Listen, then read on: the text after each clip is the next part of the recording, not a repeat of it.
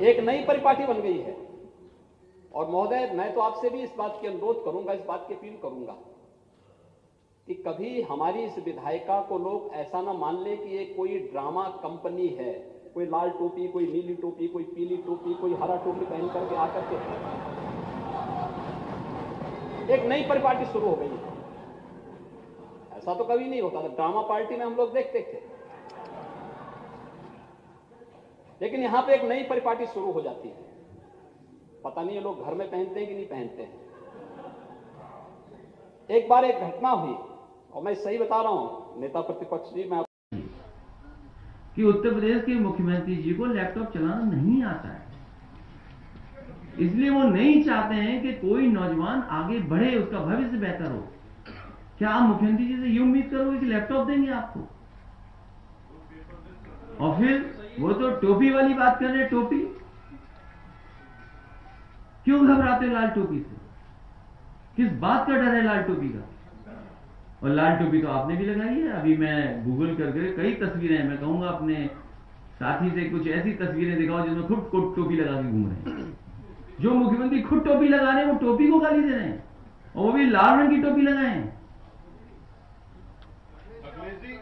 फिर असली खतरा तो देखिए लाल टोपी। कितनी जम रही है इन पे देखिए टोपी। ये लगता अपनी टोपी की बात कर रहे थे। टोपी वाले हैं। ये वही है जिनके बारे में खुद बोल रहे थे वो। जितने शब्द कहे गए, ये अपने लिए कह रहे थे वो। नहीं, वो भूल गए वो। ये देखिए आप, क्या लग रहे हैं? देखिए आप। जो जो कहा उन्होंने, वो सब कुछ इसमें नज़र आ रहा है। देख लीजिए।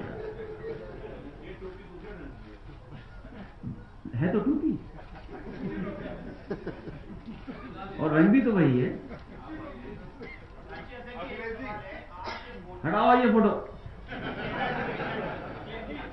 2022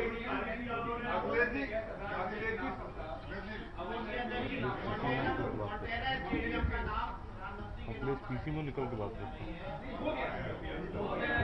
देखिए उतनी दूर मत जाइए। आप अपने स्टेडियम की चिंता करिए। समाजवादी सरकार ने भगवान विष्णु के नाम पर स्टेडियम का नाम रखा था। हमें कोई आपत्ति नहीं है कि आप अपने नेता के नाम पर रखें लेकिन भगवान से आगे नाम नहीं हो सकता। भगवान से आगे किसी का ने, नेता का नाम नहीं हो सकता। ये भारतीय जनता पार्टी बताए कि आखिरकार ऐसी गलती क्यों कर रही भारतीय जनता पार्टी? और हम तो कहते हैं, हट जाओ सरकार से नौ महीने में नया स्टेडियम बन जाएगा। ये कम से कम बनाना चाहे तो नौ महीने में बन जाएगा। और अभी तो